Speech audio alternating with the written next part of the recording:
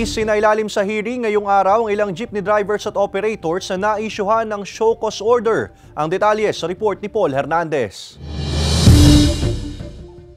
Para sa LTFR B4A, hinog sa paliwanagan at pakiusapan ng mga driver-operator para magpa-consolidate na ng kanilang jeepney units. Matagal ang panahong ibinigay sa gaya ni Arnel para magpa-consolidate. Kasi nung time na yon, kaya hindi ako napagpa-consolidate, eh, unang-una eh, kapos ako sa financial na.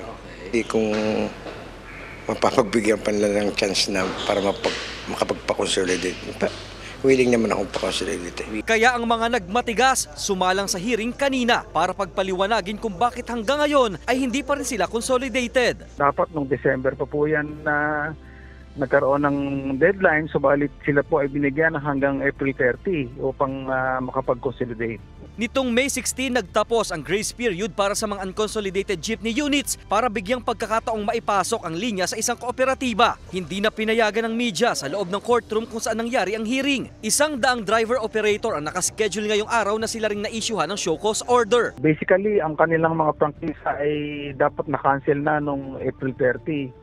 Subalit sila ay binibigyan pa rin ng pagkakataong makapagpaliwanag at marinig ang kanilang panig kung bakit hindi nila, nila piniling makapag-consolidate. Pag-aaralan ng LTFRB ang mga rasong ibinigay ng mga driver-operator. Kung hindi magiging sapat at mahina ang pruweba, pasensyahan dahil tanggal na ang kanilang prangkisa. Nasa 1,300 hanggang 1,400 ang mga nabigyan ng show cause order ng LTFRB sa Calabarzon Region at nakatakdang dumalo sa pagdinig. Araw-araw po yan. Gagawin po natin yan hanggang matapos po. Sa latest report, 21,223 na ang consolidated PUJ units sa rehiyon.